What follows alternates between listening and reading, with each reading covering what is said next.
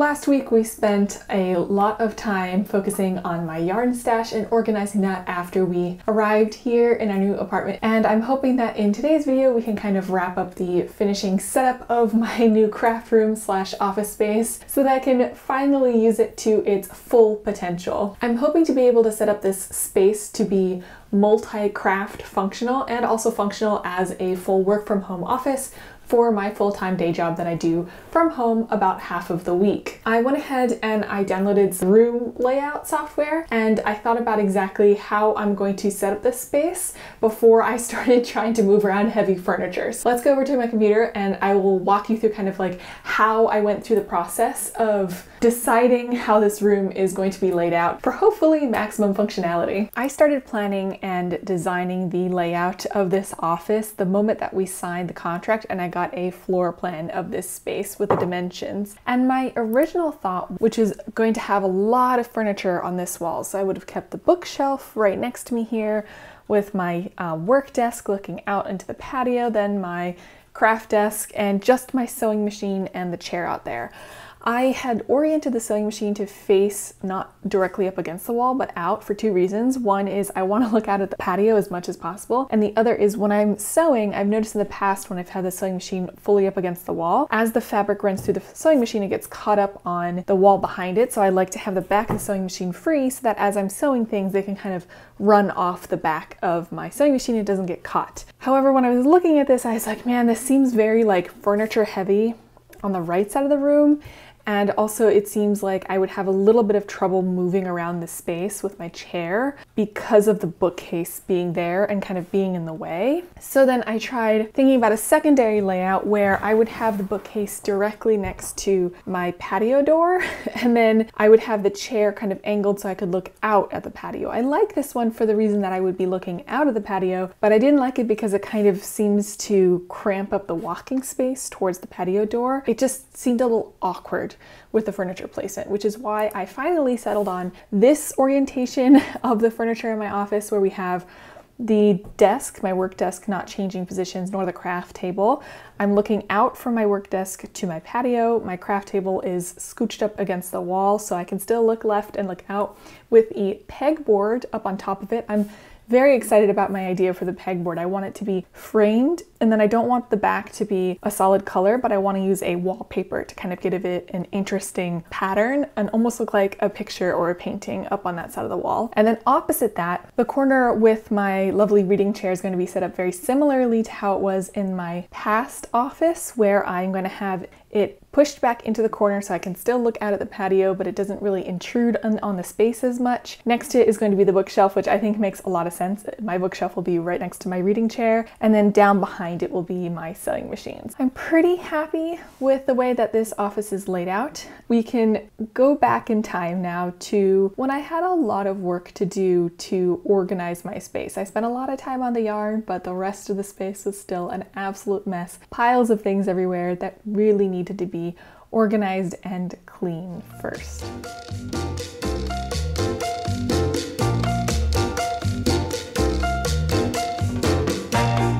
As you can probably see from all of these different clips, my room was an absolute mess with things strewn all over the place. My yarn might have been organized, but nothing else was. So I had quite the mountain to tackle, and it was a little bit distracting as I was already trying to work in this absolute mess. Uh, this is not just my craft room.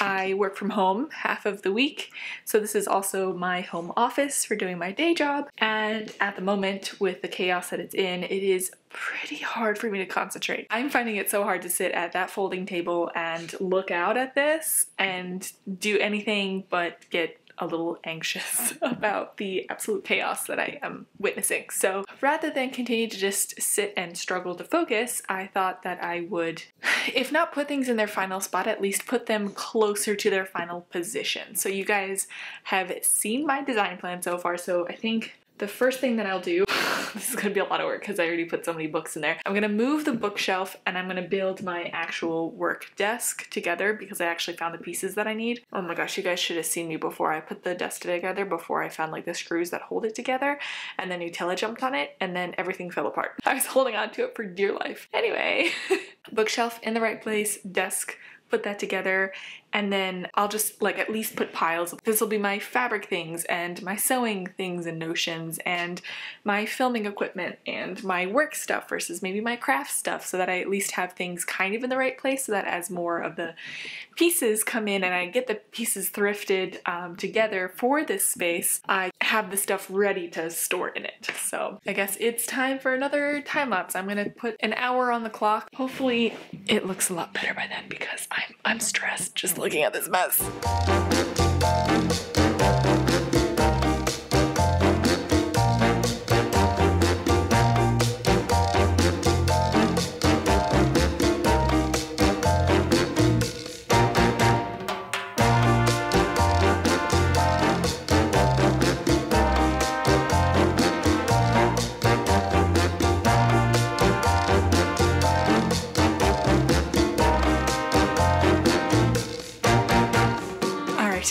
Hour is just about over and I am also starting to lose light.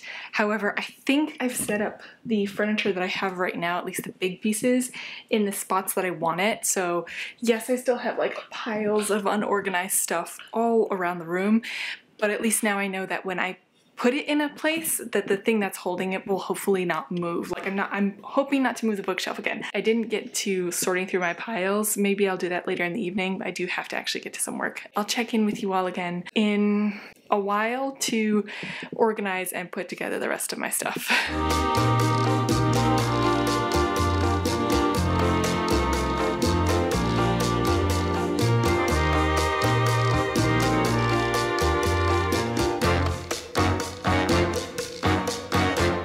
Remember the state of this closet from my last video on sorting through all of my yarn. I had kind of stopped because I realized I just didn't have enough places to put things. However, I just finished putting together the matching drawer not drawer unit, shelving unit, I got cubby unit uh, to the one I already have. First, clear out the random debris in here, put the shelving unit in place. I'm gonna use it mainly for fabric was my idea.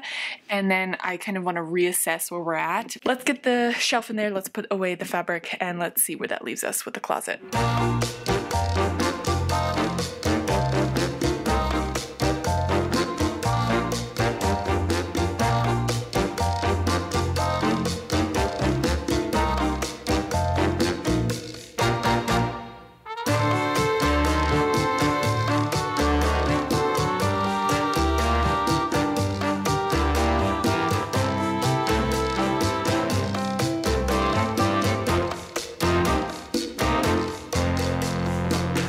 Sometimes I feel like as I am organizing this place and putting stuff in their proper locations, the moment I finish one thing and move on to the next, that first one gets messed up again. So the closet is now in a pretty good spot, but the rest of my room has turned into an absolute disaster once again. I mean, it's it's for a good reason. It's because of good news. My things have come. So the desk has come, antiques and things that I got have come, uh, a dedicated boiling pot for non-food related things. So when I want to dye something, I have some other projects planned, which is I need to boil in water, but probably not a good idea to use pots that you also cook food in. So I have, that thing is, I, I knew it was gonna be big, but it's huge. In order to help with that a little bit, I think I'm going to build my desk, my craft table, and put up the pegboard, which I'm really excited about so that I can get all of that stuff organized and kind of put away. I am gonna go maybe grab a cup of coffee because I'm a little sleepy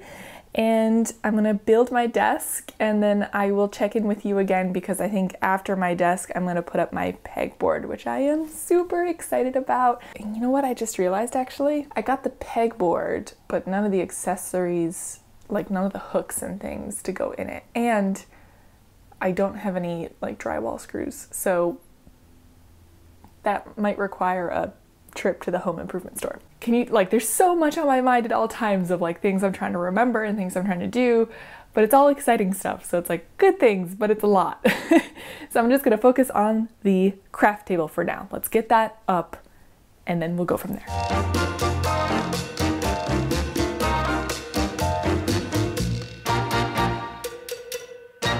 Just kidding on setting up the desk first. I could probably do it by hand, but a power drill would be very, very useful. We used to have one. I was looking for it. I cannot find it. So I guess first let's stop by the home improvement store to get a power drill, get some drywall screws, some wood screws. I'm pretty sure there's some other things that we need too. So I'm gonna grab all that stuff. I'll be back and then we can finally do the desk and the pegboard. Oh, right, and the pegboard accessories, of course. Okay, so let me grab all of that and I will be right back. We're back from the hardware store and I have set up my desk, my craft table behind me. It is so much larger than I was expecting, but I absolutely love it. The next step is to put the pegboard up. So let me first get that whole thing framed and put together and I will show you that process.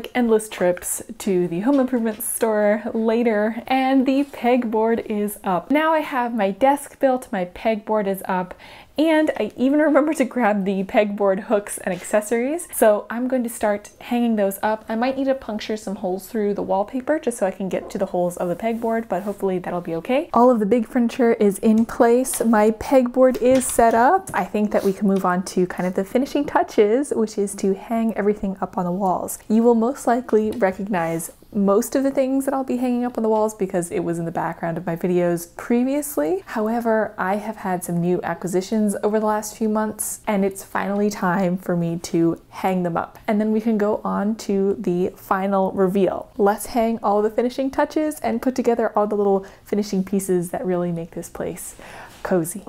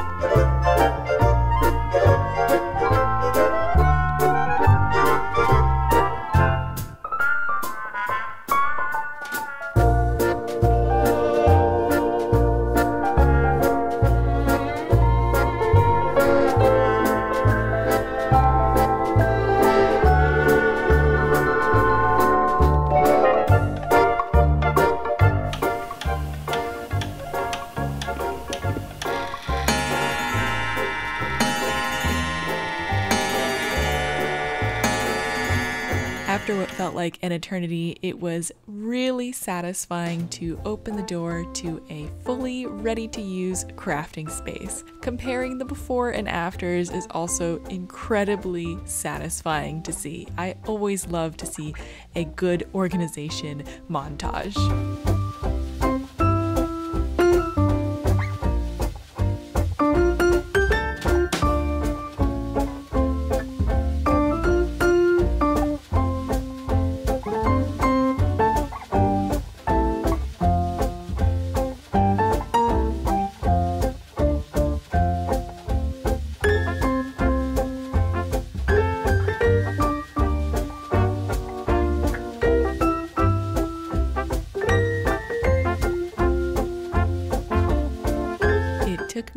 Few weeks to finally get to this point of organization in my craft room, and there were a lot of moments in between where it looked very messy, and even now, my craft supply closet is looking maybe a little bit messier than it was even in different parts of this video, but so far I'm able to access most of my things and find most of my things and I have been really productive in my new craft room.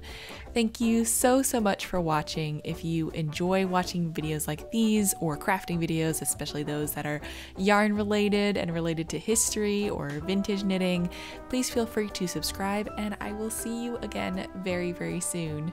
Bye!